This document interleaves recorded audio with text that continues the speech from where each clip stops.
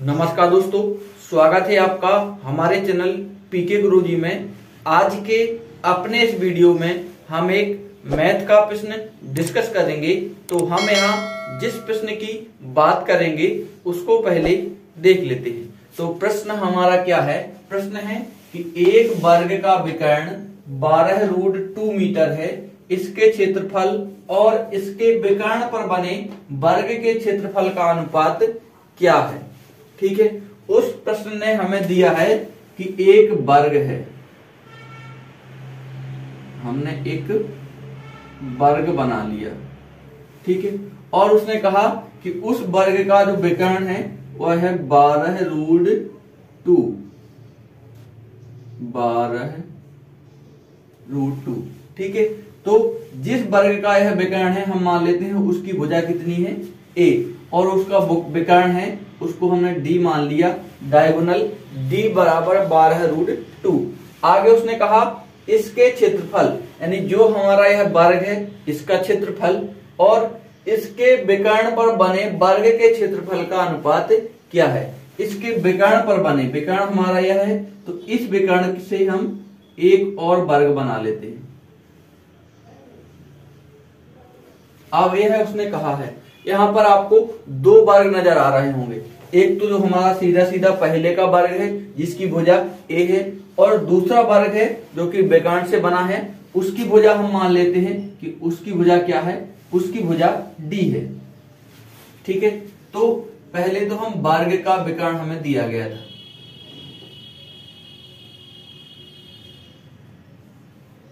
D बराबर क्या है? बारह रूट टू ठीक है? तो डी वर्ग का विकर्ण क्या होता है? ए रूट टू बराबर बारह रूट टू रूट टू काट दो। ए बराबर निकल आया बारह मीटर, ठीक है?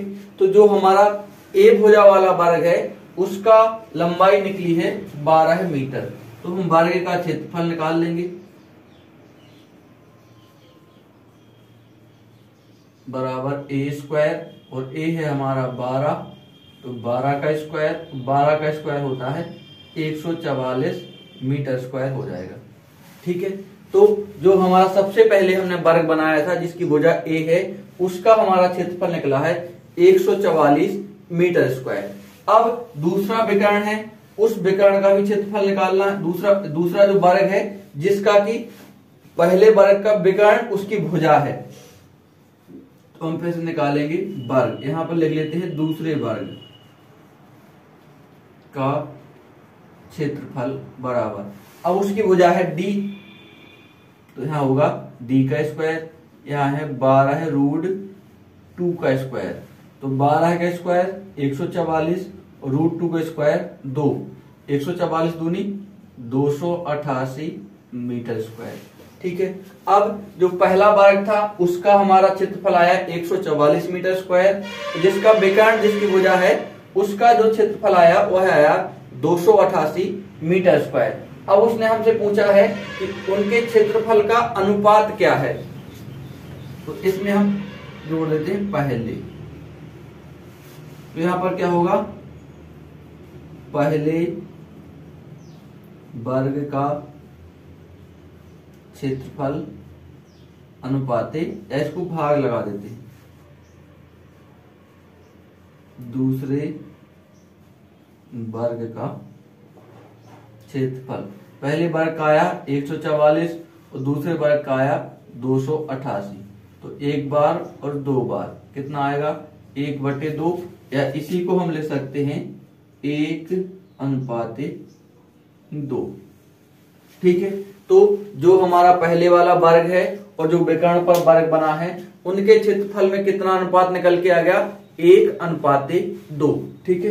इसमें कुछ नहीं है, सिर्फ़ समझने वाली बात है। पहले तो डायग्राम आपको समझ में आना चाहिए कि कैसा बनेगा। इसके बाद इनकी भुजाएँ समझ में आना चाहिए। जो पहला वाला वर्ग है, उसकी भुजा ए है। उससे हमने विकर्ण की सहायता से उसकी भुजा को निकाला तो 12 सेंटीमीटर आया। तो दूसरा वाला वर्ग है जो कि इसके बेकर्ण पर बना है तो बेकर्ण ही उसकी क्या है? भुजा है। यानी बारह रूट टू उसकी भुजा है तो उसका जो क्षेत्रफल निकला, वह बारह रूट टू के माध्यम से निकला। जो पहले वाला हमारा वर्ग था, वह हमारा जो क्षेत्रफल निकला, वह बारह भुजा मान के निकला। ठीक है? तो ऐसे ही नॉलेज बढ़ाने वाले वीडियो देखने के लिए जुड़े रहिए आपके अपने चैनल पीके गुरु जी के साथ। नमस्कार।